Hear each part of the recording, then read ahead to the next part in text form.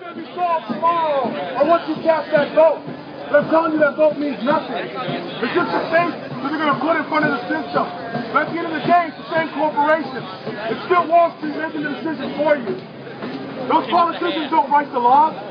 Do you believe that? You believe they wrote that 2,700 page uh, health care bill? No, that's the pharmaceutical company. That's the insurance company. They pay lawyers tremendous salaries to write that. But just enough so it makes it sound good enough for you to be behind it. But the reality is, it's just a trick and an illusion. It's magic. The reality is, instead it benefits them and on your back. We're still suffering. Go through your neighborhood. How many of your neighbors have been evicted? We're here in Charlotte, home of Bank of America, the number one in foreclosures. These are hardworking men and women. They want you to think that, that we out here in the streets are just some crazy protesters. They we're not like you. They don't want you to know that we are you. We are your neighbors. We're your bus drivers. We're your children's teachers.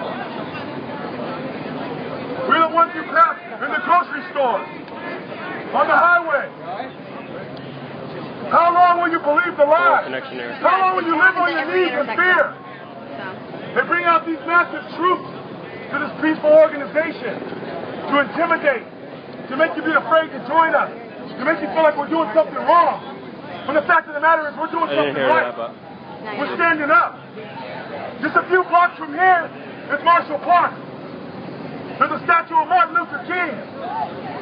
Martin Luther King talked about the fierce urgency of now. That's what we're here to say. Now is the time. It's not now, when. It's not using who. It's time we stand up together for one another.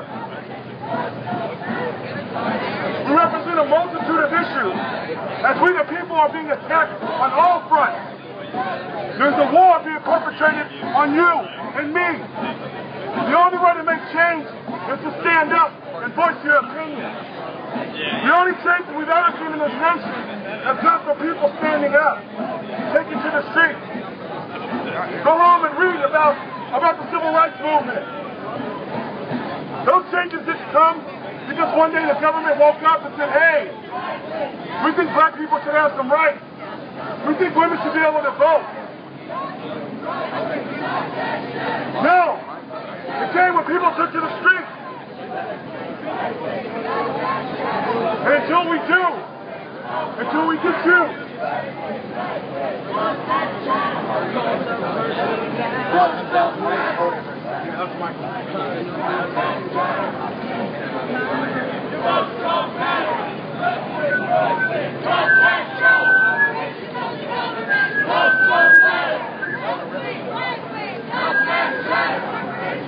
our people, It's an interesting people convention. But yet what's uh, time. going on behind those doors has nothing to do for the people. Right. It's what it has to do behind there. It's politics as usual. Sorry. It's the blue against the red. It's to get you caught up in the in the chase of who's going to get elected. It's the drama. It's like turning on to reality TV, but it's not real. The only thing real, the only truth coming out of there is that they're looking out for them. Those big buildings you see dominating this, this landscape, that's who's in there battling. How do they divvy up the money? Who's going to get a bigger share? How are we going to regulate it so my side can get a bigger piece? That's what they're fighting for. They're not fighting for you. They're fighting against you. Those profits come off of your backs, off of your hard labor. You think they're, they're getting foreclosed on? No. It's you and me. It's your neighbors. Walk down your street. How many empty houses are there? I bet a bunch.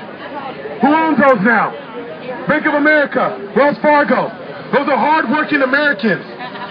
They want you to think that we out here, that we're just some crazy people who, who are just, just, just uh, in a frenzy. Yes, I am in a frenzy because now is the time. These are perilous times we live in. Don't get it wrong.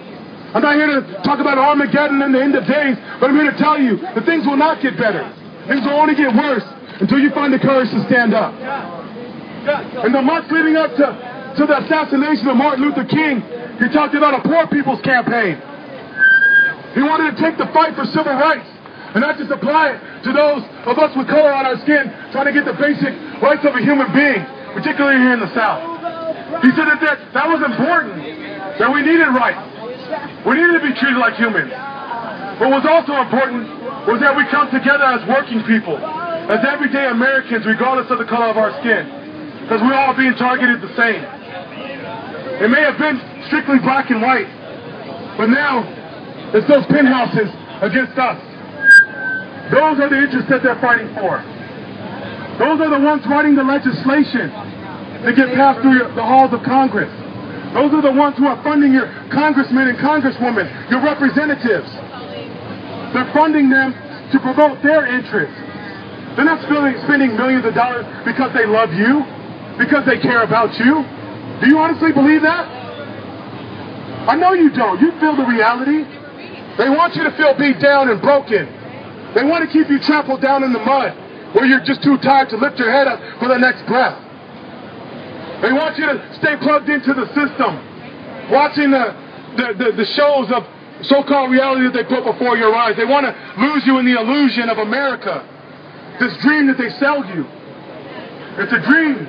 It will never be fulfilled until the people take to the streets, till the people take control of their own destiny, till the people feel strong enough with that love for their mothers and brothers and sisters and children that they're willing to stand up and fight for them.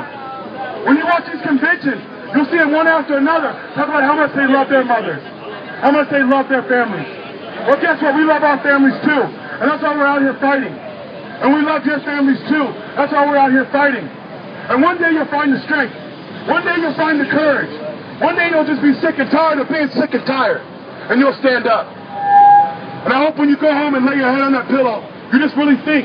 Think about everything that you saw. Look around, the glitz and glamour. That's the illusion they're selling you. But what change have you seen? I ask you, what change have you seen? What do you see for tomorrow? What do you see for the day after the election? You think it's going to be a brand new day? Kumbaya, everybody's just going to hold hands and the world is just going to change? No. Change never comes without struggle. That's what I learned from those who came before me, who've been fighting the struggle for generations and generations. When we thought there was no hope. And we were in bondage. And our children were in bondage. And it looked like the system was just so strong that nothing could ever be. Come on back soon, I can't That the only reality is what we existed in at that time. But they kept hope alive and they kept fighting. They never got down on their knees. They never gave up.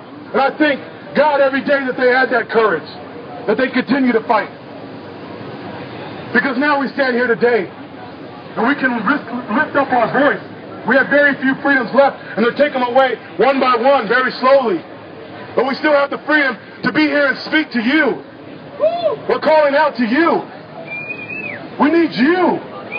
And you, and you, and you. And then we need you to go and tell your mother and your sister and everyone that you know that there's somebody out there who's on your side. It's not a Democrat and it's not a Republican. It's the people. And if you don't know what to do or how to get involved,